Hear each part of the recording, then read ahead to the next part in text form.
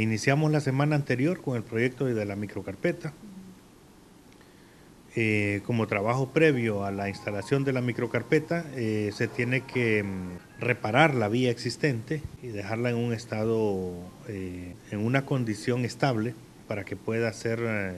duradera la microcarpeta. En ese sentido, iniciamos los trabajos de bacheo y saneamiento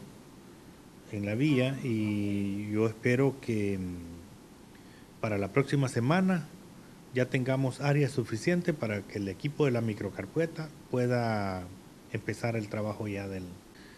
Bueno, en microcarpeta pensamos abarcar un área de 168 mil metros cuadrados, alrededor de los 170 mil metros cuadrados, y en bacheo creo que tenemos alrededor de 8 mil metros cuadrados por atender. Eh, la parte que corresponde al concreto hidráulico,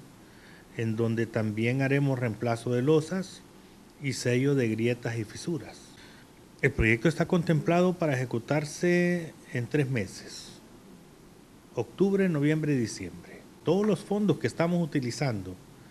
eh, tanto en el mantenimiento de la red vial no pavimentada como en el mantenimiento de la red vial pavimentada, que es el bacheo,